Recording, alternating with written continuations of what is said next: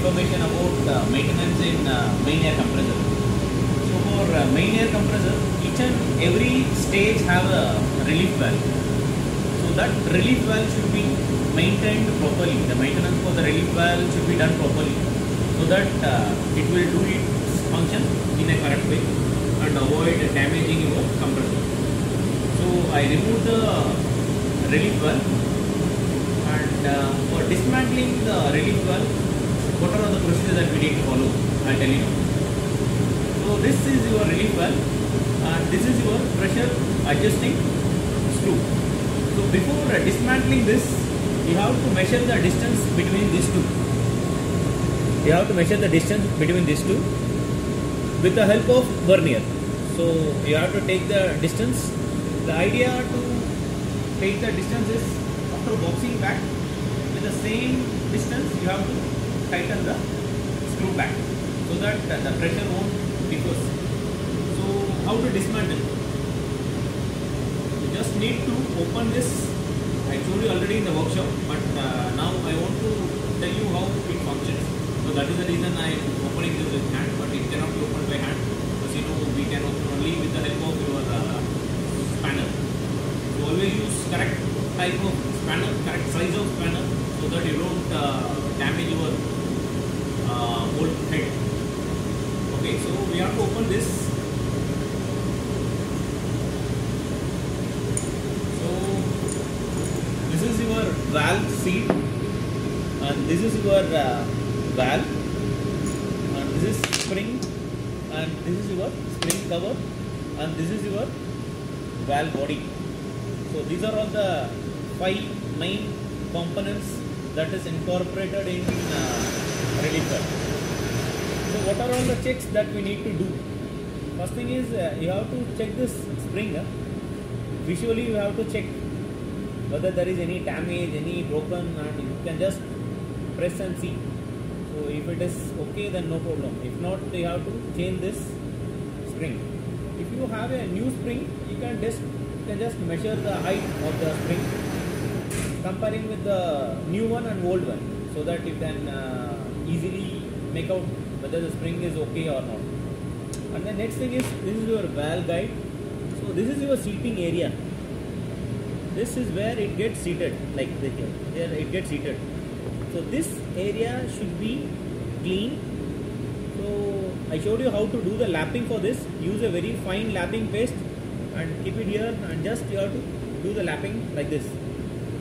So this area you have to check for any damage, cracks because if it crack or any cavitation is there then you will notice the air leakage from here.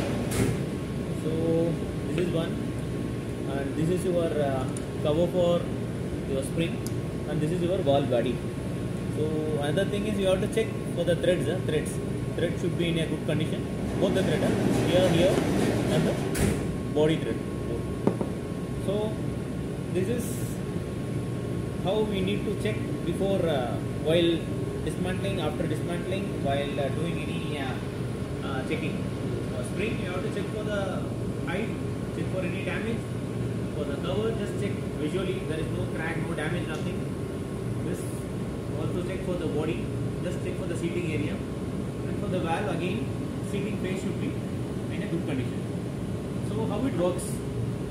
The working principle is very simple. So suppose this is your this is how it will be inside.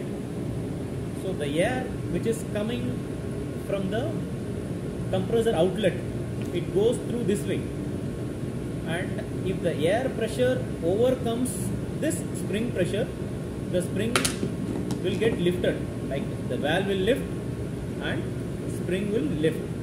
So the air high pressure air will come through this way come through this way and passes out through this way. This is the reason why they gave uh, all this opening. So in case the air is very high pressure the high pressure air will push the overcome the spring pressure so that the valve will open and air will pass through this way and go out through this way. And once the pressure is normal because of the spring pressure it will the valve will sit back, sit back to its place. So this is how uh, this relief valve works. Huh? So again, for uh, boxing up, usually when you open this piece, this spring, all this cover will be full of carbon and everything. So ensure every everything is cleaned nicely with the diesel and everything, and uh, blow some air. So again, opposite way. When the way you open, you box back in the opposite way. Box it, and before boxing this valve guide, ensure the movement is free. This movement should be free. If only the movement is free, then the valve will open close. If not, it will get stuck and your relief valve will fail. So that's all. So you box it up again. Whenever you box up any threaded portion, make sure you are uh, putting a coat of and like a Molykote or copper slip something. Tighten it fully and uh, again measure this height. It should be the height when you open. So this is how we have to open, uh, dismantle, inspect, clean and uh, box back. I believe uh, this video must be giving you some information about how the reliever works without any doubt.